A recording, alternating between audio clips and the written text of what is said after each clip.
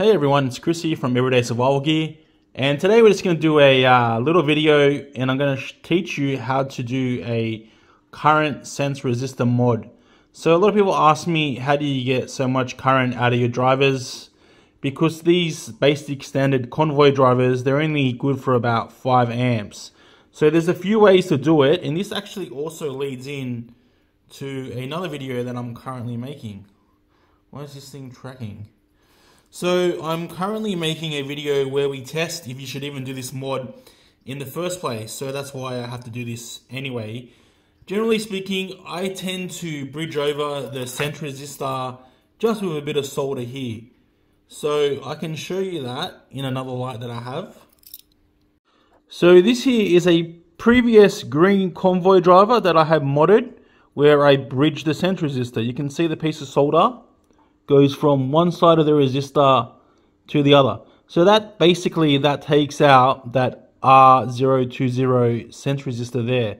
So there is no sense resistor um, in the way to stop the maximum um, uh, amount of current. So that does give you the most amount of current that you can get out of these drivers.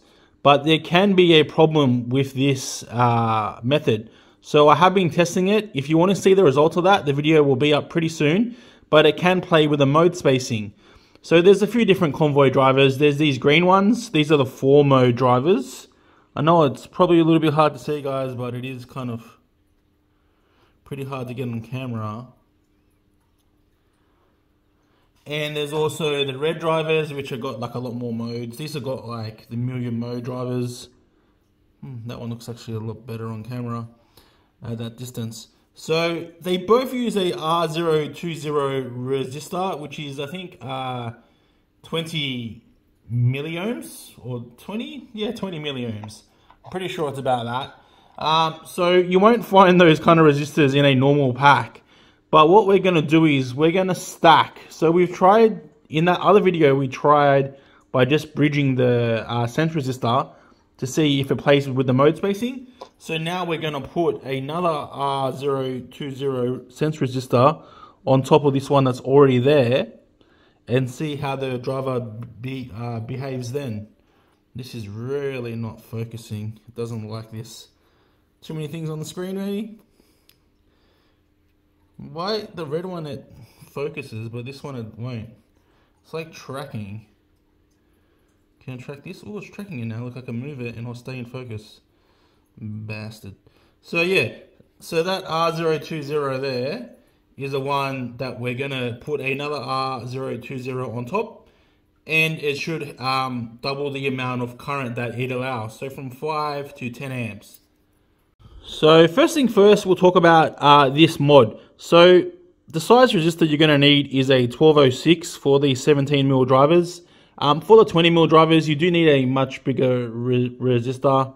Um, I'm not sure of that size actually because I don't have any that go up that high. All I got is this pack of uh, 1206s here and you can see they're pretty much the same size as the uh, 1206 resistor there. Um, don't mind the driver, I accidentally spilled a bit of flux on it while I was scavenging off the other driver, the uh, resistor on the other driver. So we might as well get started and um, put the new R020 uh, sense resistor in place.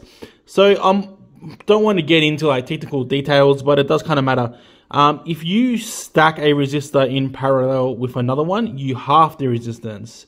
If you were to say put that new R020 resistor behind this re re resistor and it was in series, you would double the resistance. So we are halving the resistance of the of the sense resistor by stacking another one on top.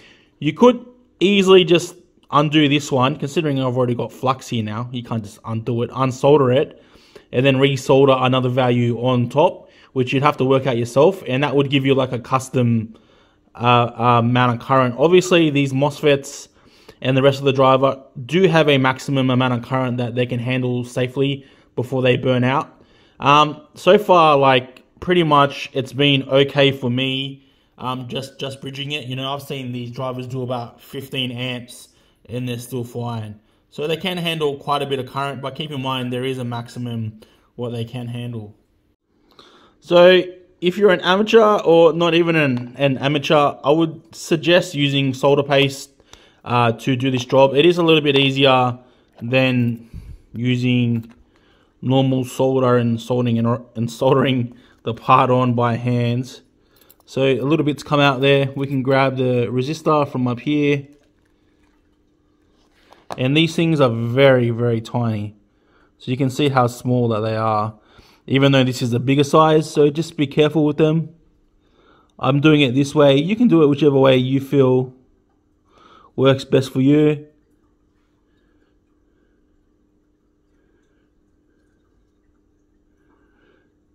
You don't need too much on there.